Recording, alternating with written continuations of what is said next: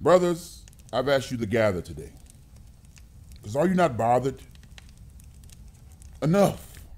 An effort must be made to unite against this aristocratical tyranny of certain members here at Lincoln University.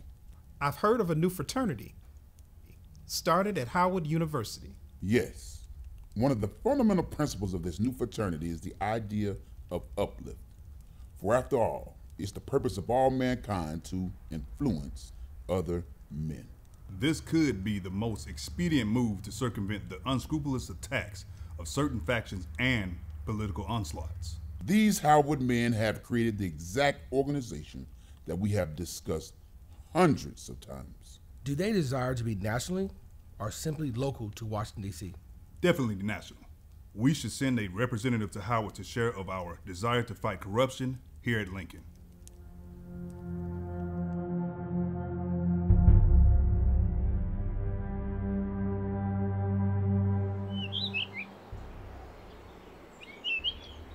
Ooh, it's a little chilly out here.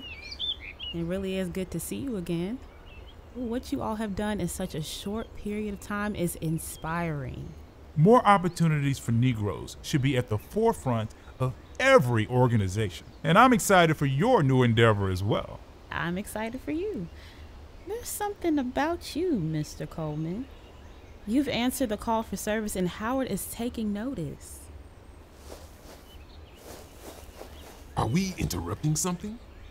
Edgar, I definitely foresee a life of ministry in your future. Why is that?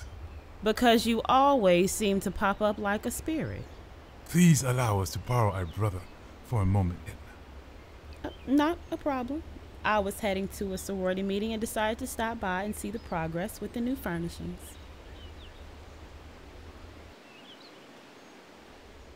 What is this all about? We've received a letter from Lincoln University. Several young men aspire to join Omega. That's exactly what we wanted. Yes, especially after tabling the request from the men at the University of Michigan.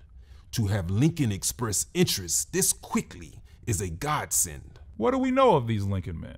They seem to have the exact ideas of true brotherhood, the one thing above all other things that Lincoln has always been noted for is the real live, genuine college spirit. Indeed. In all occasions where Lincoln is represented, the subtle influence of the Lincoln spirit is ever felt. They are sending a representative to DC to meet with us. Brothers, we must consider this. Omega must grow like a flame from an everlasting fire.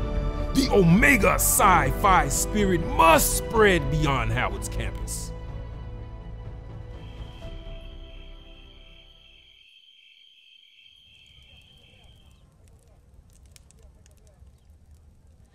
Never have I been so profoundly stirred. The establishment of Beta Chapter marks the heyday of Omega's early history. Brothers!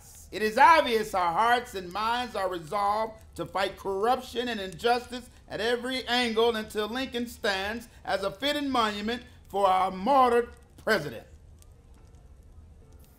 May it be stated, whatever and wherever Omega may go, let there be assurance, Beta chapter, in the presence of Almighty God, will forever strive to be men, promote efforts of uplift, persevere to be scholars, and maintain integrity, justice, and virtue.